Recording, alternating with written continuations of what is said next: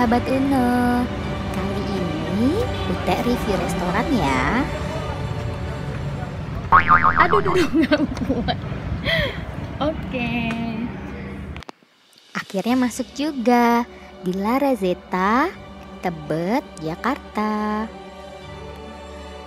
Jadi La Razeta itu merupakan restoran dengan menu makanan khas Timur Tengah Dan nuansa Timur Tengahnya tuh mereka hadirkan kepada pengunjung di setiap sudut ruangan.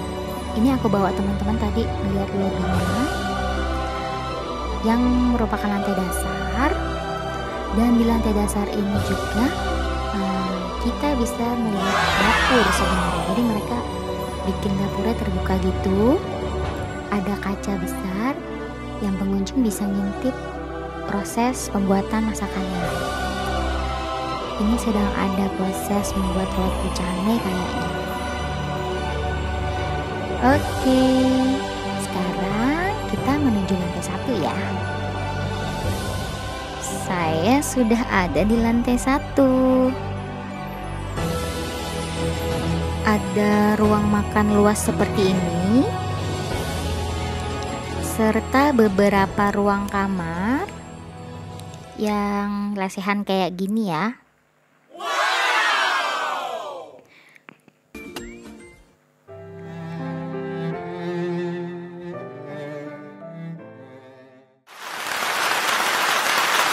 Kemarin tuh aku makan bareng Nita Uno dan satu teman kami.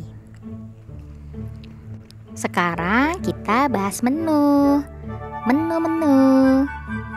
Menu. Menu Timur Tengah di La Razeta nih pilihannya banyak banget.